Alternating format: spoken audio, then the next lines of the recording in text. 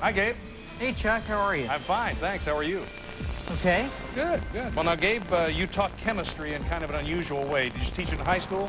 No, I, uh, I taught college. I was a graduate student when I was 17, and I taught organic chemistry Were you? using rap music.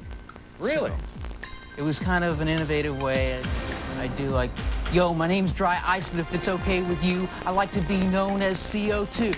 Please ignore the fact that I'm fluoride or that I'm whiter than sodium chloride. I'm not here to rap about war or pollution. I'm talking electrophilic aromatic substitution. Yes, all right.